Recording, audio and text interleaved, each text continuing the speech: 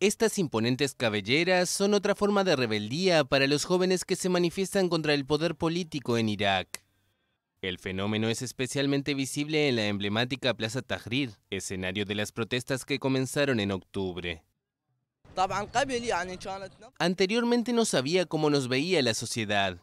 Era difícil caminar por las calles debido a mi cabello, la gente hablaba, pero ahora aceptan más al otro. Ahora siento que estoy en una sociedad más respetuosa.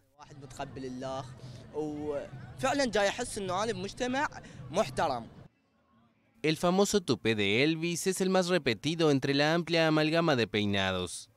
Esta moda exclusivamente masculina fue inspirada en parte por los peinados de las estrellas de fútbol y está muy marcada en el mundo árabe en general.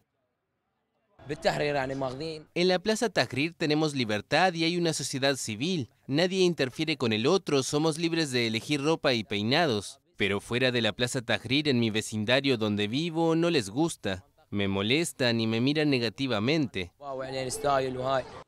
Estos peinados son sin duda una forma de desafiar a las milicias todopoderosas en el país pero también implican una revancha social para esta juventud que se siente incomprendida, pero que ahora dicta la moda.